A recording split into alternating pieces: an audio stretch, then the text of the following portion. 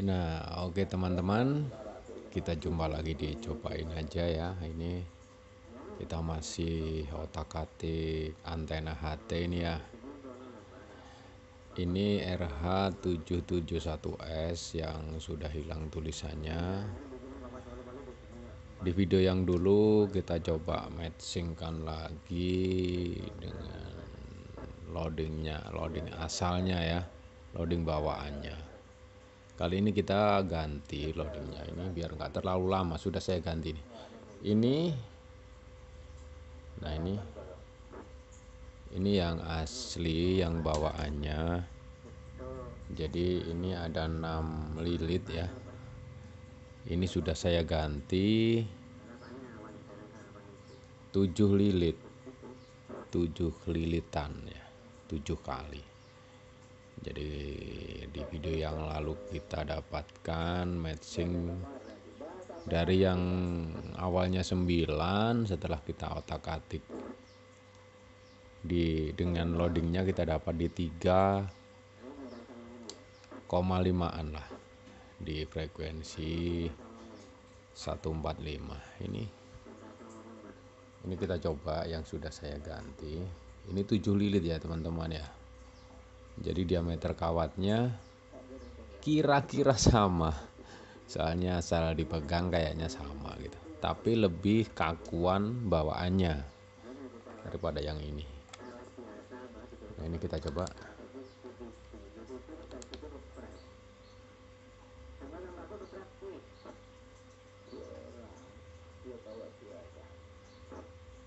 Nah ini kita dapat di 143,4 dia dapat di 2.50 banding 1 udah turun udah turun lagi ya.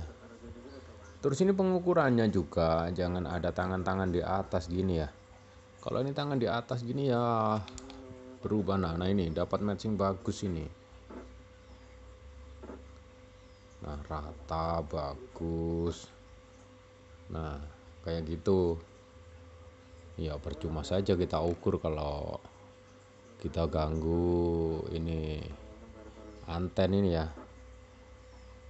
Jadi ini ya nanti teman-teman bisa coba untuk mengatur jarak kerenggangan dan kerapatan dari loading ini. Bukan cuman biar rapi kalau biar rapi dia ditutup aja udah selesai dia biar nggak rapi sekalipun cuman ini kenyataannya berpengaruh di matchingnya.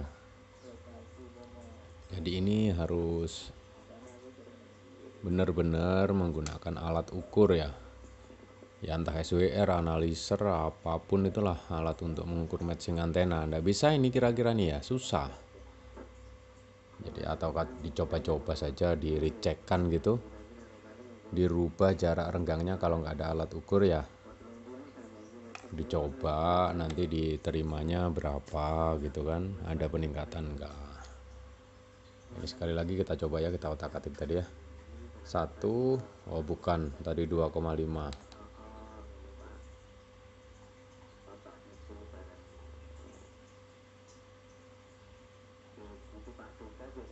Nah ini 2,6 tambah naik lagi nih. Tambah kurang bagus tetap di otak atik ini loadingnya ini. Daripada kita motong bibnya daripada kita motong ujung anten ini sayang kali lah. Bisa sebenarnya ya.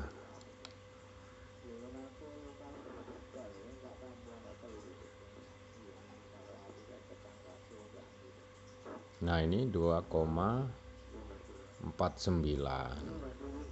Jadi ini bisa juga untuk menggeser frekuensinya ya jadi bisa digeser sama kerapatan atau kerenggangan loading dari antena tersebut.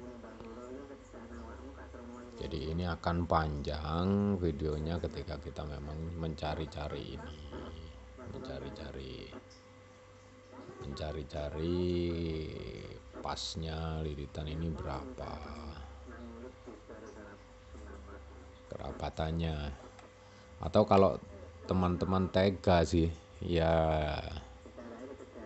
bisa dengan memotong. Tapi hati-hati ya kalau ini kita dapatkan di 142,8 ini nggak bisa dipotong ini malah harusnya dipanjangkan kalau mau naik di 145 misalnya ya jadi semakin rendah frekuensinya maka whipnya semakin panjang. Jadi kalau udah SWR terendahnya di bawah frekuensi yang kita inginkan terus dipotong malah habis nanti malah nggak dapat. Jadi misalnya ini di otak atik gitu kan. Uh, gini teman-teman ya. Ini kan kalau kita pakai 6 lilit matchingnya di atas. Ternyata kita tambah satu lilit matchingnya udah di bawah. Jadi bisa saja ini dikurangin ini ya. Ini dikurangin enam setengah atau berapa gitu. Dicoba-coba lagi bisa. Nah kayak gitu